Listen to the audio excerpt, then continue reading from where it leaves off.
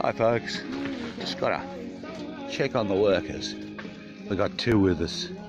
The buyer provided them. We're selling mangoes today, 60 boxes, and we still got plenty on this tree. This is basically a, a four box tree.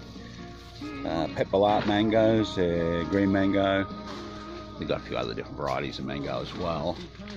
And just by standing on this spot here, where my feet are, I picked that box. That's how abundant or how generous the tree is in growing mangoes. We've got a lot of good trees down here.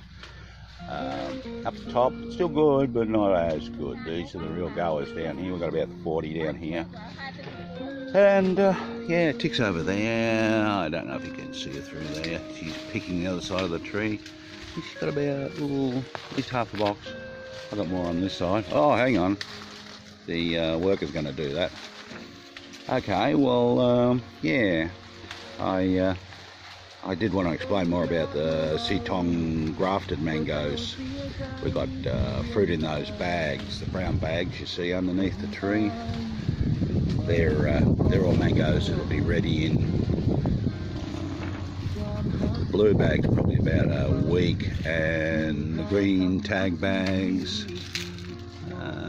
uh, about two weeks maybe a bit longer, and the purple ones only went on this week. So, yeah, yeah there's there's still plenty more. I think there's about uh, 4,000 grafts somewhere around the orchard.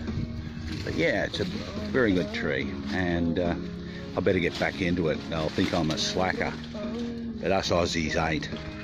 Okay, have a good day. Bye now.